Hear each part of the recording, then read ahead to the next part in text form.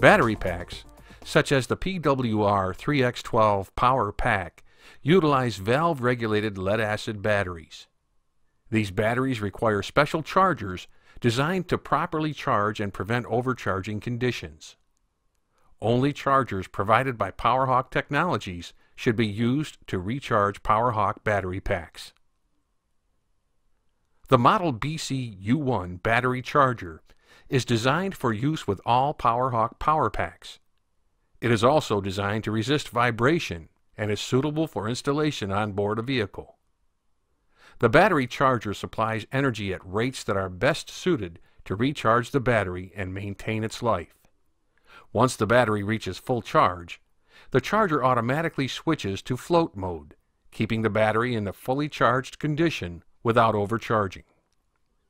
For this reason, you may keep the charger connected to your power pack to better ensure the battery is fully charged when needed. Make sure the power switch on the back of the charger unit is turned on. Align the tab and slot of the output connector to the mate found on the front face of the power pack. Press together. The charger has three LED lights that indicate the status of the recharge cycle.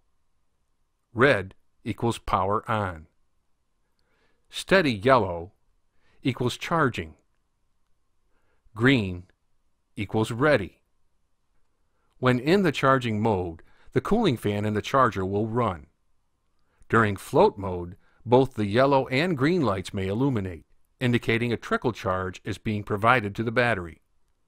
If the yellow light flashes, this indicates there is a fault.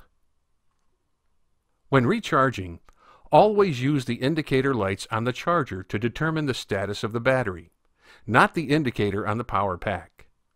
Removing the charger prior to its reaching ready mode will leave the battery in a less than fully charged condition. A fully discharged battery could take up to 15 hours to become fully recharged. A partially discharged battery will take proportionately less time.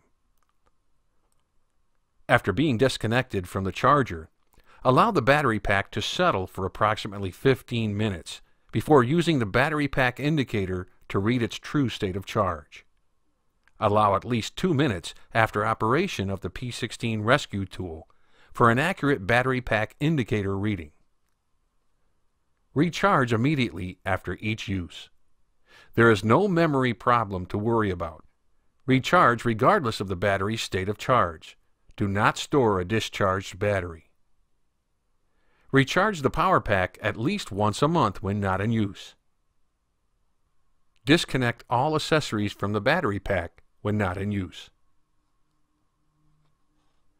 Do not allow the battery to become excessively discharged while using accessories. Excessive deep discharging of the battery may cause it to sulfate, resulting in lost capacity and inability to be recharged. The P16 will automatically shut off to prevent this from occurring. Charge the power pack at ambient temperatures ranging from minus 4 degrees Fahrenheit to 122 degrees Fahrenheit. Do not operate the P16 using the power pack while it is connected to the battery charger. The high amperage current draws of the P16 rescue tool may cause the charger to blow a fuse. This video has been created as supplement to the PowerHawk P16 rescue system and Power Pusher owner operation and maintenance manual.